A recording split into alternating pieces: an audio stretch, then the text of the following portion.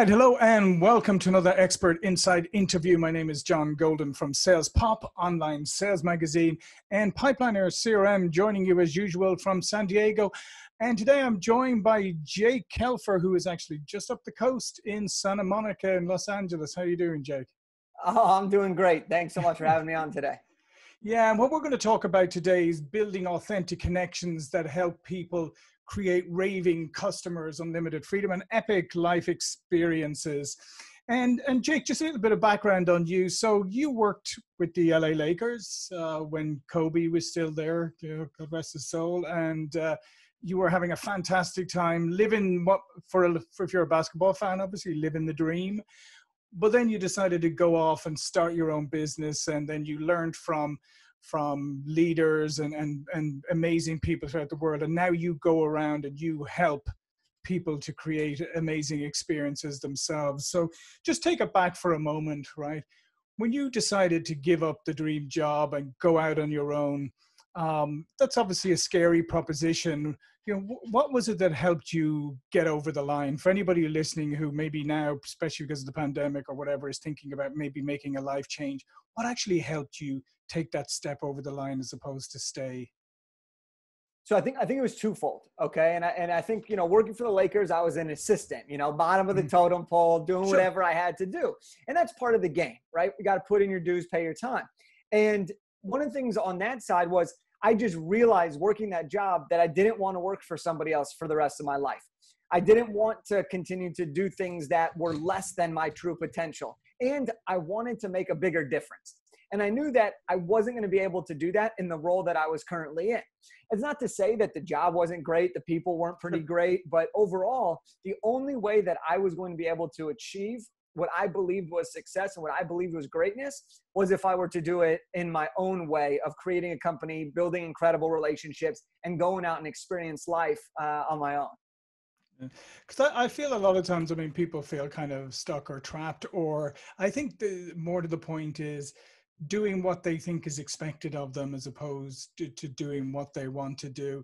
And i just think it's an interesting time now as people have gone through some probably uh, probably the greatest collective uh, collective experience that any of us will ever go through.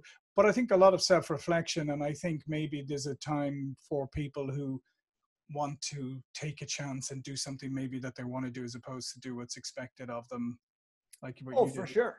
For sure. I mean right now there's no better time to go out and do something on your own or to try something or to make a change. And here's one of the big reasons why is because people are more accessible than ever before, which mm-hmm. means it's easier to get information. It's easier to get in touch with game changers. It's easier to, to put yourself out there and get the right feedback. We're able to speed up that process because of, unfortunately, what's been going on that's enabled us to be closer to our technology rather than traveling and, and doing all these in-person things. So the speed at which we're able to do things is fast, it's faster and much more efficient.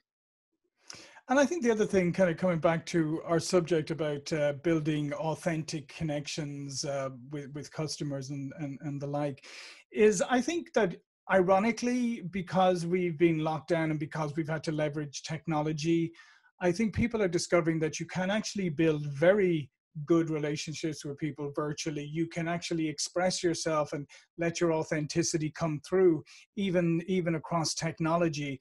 And that uh, and that in fact there's a huge appetite for authenticity today probably more than there has been enough for a long time. Oh and, and, and look when you think about it too is the people want to see who you are as we have more and more competition in everything, especially in the online space with businesses going online, more online businesses, the self education world becoming even greater, we're seeing with more and more people is that people want you. They don't want the person you think they want you to be, they want you. And the right people gravitate towards that personality, right? And I think that that's something that's so powerful when we're making a switch or when we're trying to build out a new network is you don't have to be what you think the other person wants you just have to be you and own who you are because you attract the right people and you enjoy yourself in the process more, which is the name of the game. So uh, let me just dig in on that for a moment when you say own who you are, because I think this is cre- an incredibly important point for for people to understand is so obviously to begin with you need to be a little bit self-aware and really understand who you are and if there's a couple of rough edges you need to you know smooth out maybe so. But then talk to me a little bit about owning who you are and what what that can do for somebody. Well, when you own who you are you can start to take the actions that you really want to be taking too right? And so owning who you are from a connection standpoint and we'll focus on this a lot mm-hmm. is being is being proud of your personality is understanding that you don't have to have a certain style to connect you just have to have your style to connect. If you don't like to be on video, but you like to write, maybe instead of being on video, you're writing uh, blog posts, you're doing mini articles, you're doing graphics, right? And you're writing out quotes. If you prefer just being on a camera, then maybe you need to be doing your own mini TV show, your own Instagram show, your own distribution, right?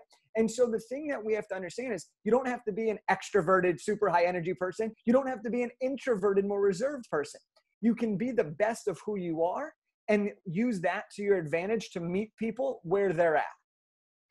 And I think that's a, and, I, and, I, and again, I love that. I think that's an incredibly important point because in some ways, if you think about the traditional workspace and the and the traditional way of doing business, it definitely skewed towards a, certain type of person in many ways. And this has been, in many ways, also a great equalizer because it has given people the opportunity to excel leveraging, as you said, their own their own skill sets, their own personality traits, and still be just as successful as anybody else, if not more so. And you know, I, I think about it in a really interesting, interesting way because obviously I'm pretty high energy and I'm mm-hmm. pretty extroverted, and I work with a lot of people that have exact opposite personalities. And what we've found through it is that there are certain scripts, there are certain things that generate the same response. But here's what our job is when we're building connection it's how do we make that other person feel based off the words we say, the body language we carry, and the actions that we take. And if we can make somebody feel a certain way and elicit a certain emotional response, then it doesn't matter how we're doing it. What matters is that we're giving them that feeling. And oftentimes that's a positive feeling, right? By asking more intimate questions, by listening and reaffirming what someone's saying, by actually making a commonality point of contact in your outreach rather than just a copy and paste point of outreach. All of those things help people feel that you actually care. And then you're able to bring them in that way because it's about them. Connection is never about us. Sure, mm-hmm. we need to own our style and own who we are and figure out the best way for us. But more importantly, is we have to know what works for them. And then we have to go to where they're at and bring us together. And that's where the secret sauce lies. Yeah, and, and again, I just want to underline something that you said there about listening, because I do think we live in this world today where everybody is so distracted and being present. A lot of people struggle with being present. You know, you're having a, I mean, you can see it. You're having a conversation with somebody, you hear their phone buzz in their pocket, and immediately you see this blank look on their face, and you know they're not listening to you anymore. They're thinking, my God, what was that? Was that? Is that more important? um, I think listening skills, there's nothing more uh, credibility building, but also res- communicates respect more than listening. And as you say, validating what somebody said. That's a massive way of building trust and, and authenticity.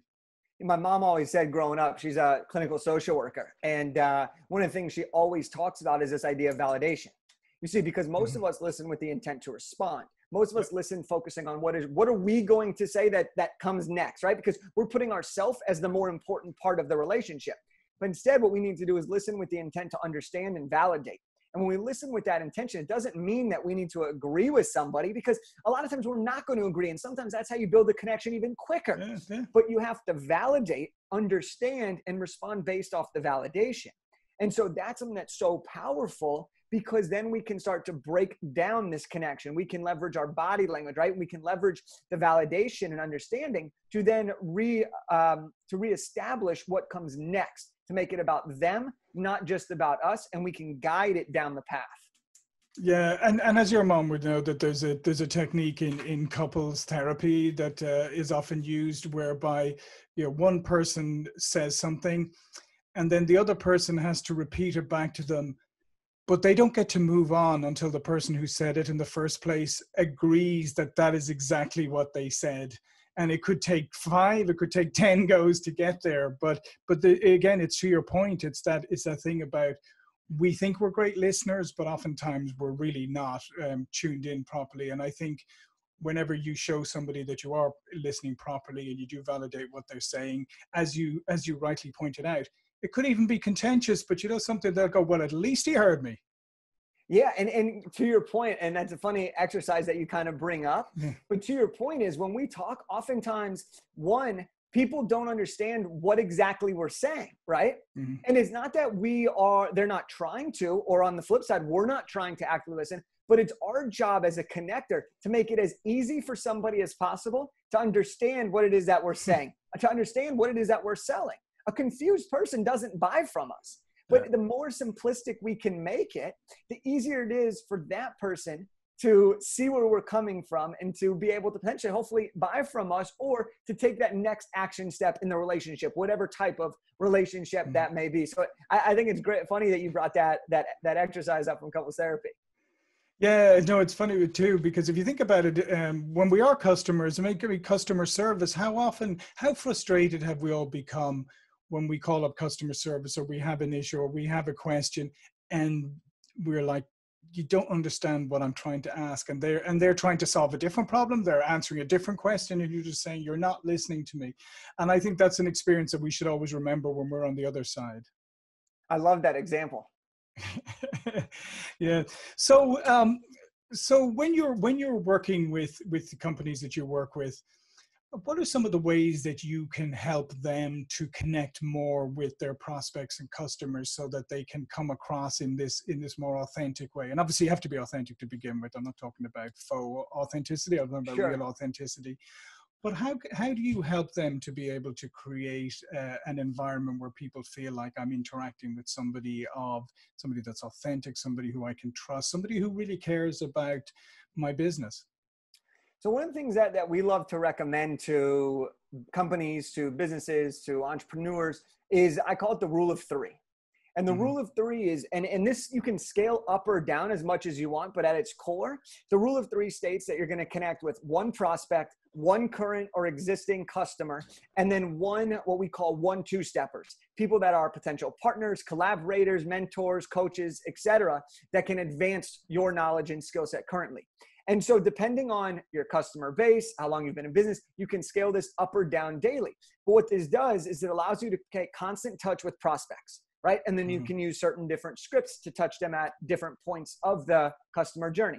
But then you have your current customers, letting them know exactly that you care about them, asking for their feedback, asking for testimonials, asking if there's anything that we can do better, right? We're constantly re engaging with them because those people also, the, the, the, the best prospect is the one that you already have right? Mm-hmm. and we we love that and the repeat buying. And so it's always important to take care of them which is why i don't say value prospecting or, or certain yeah. customers more than others. It's it's got to go after. And then the third is the one two steppers so let's say you're a company that has a, a ton of current customers and you're trying to prospect.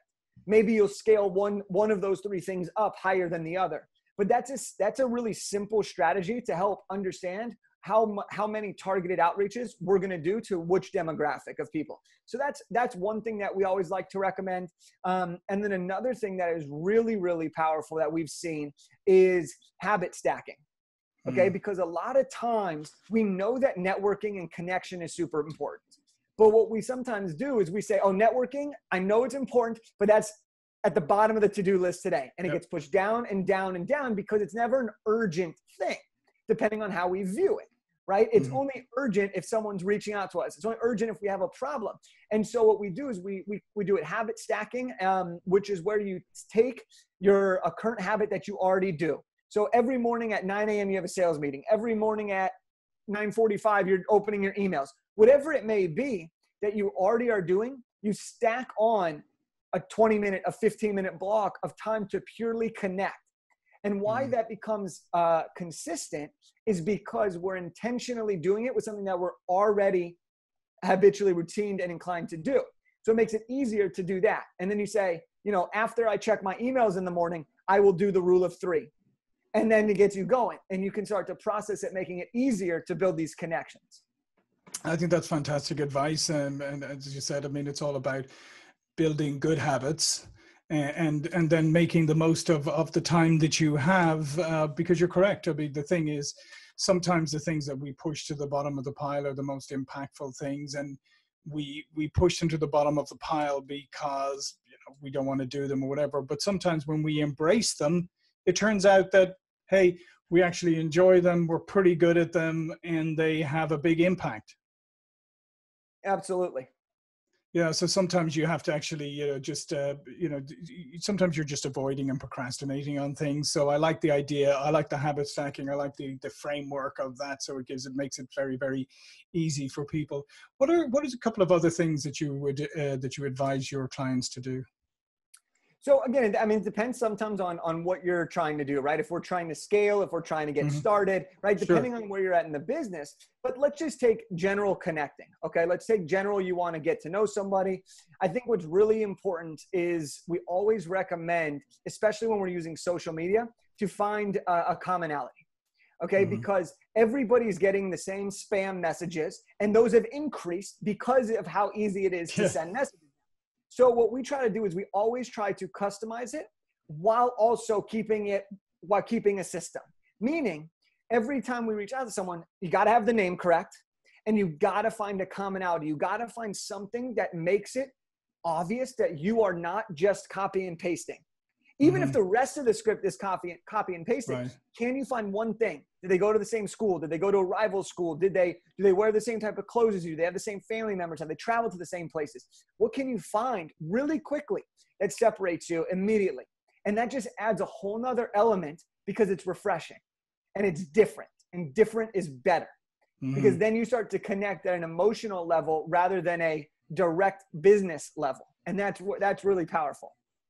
Yeah, no, I love that because I mean, people do, uh, you know, as human beings, we're hardwired to look at to look for things that we have in common when we're trying to connect. We're always searching for that. So if you present that right out of the gate, obviously you're making a lot easier for people to to want to connect with you.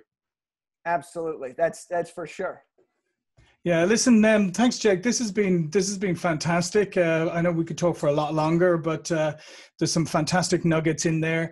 Um, all of Jake's information will be in the contributor bio below this video. But before we go, please, Jake, tell people a little bit more about you and what you do.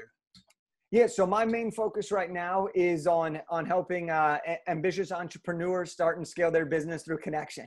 So we have you know coaching programs, group coaching programs uh, books, things like that. But um, that's that's really what I'm focused on right now. And the best places to to reach me on Instagram at Jake Kelfer or my website jakekelfer.com. All right. Listen, thanks again, Jake. My name is John Golden, Sales Pop Online Sales Magazine, Pipeliner CRM. See you off for another expert interview really soon. Thank you.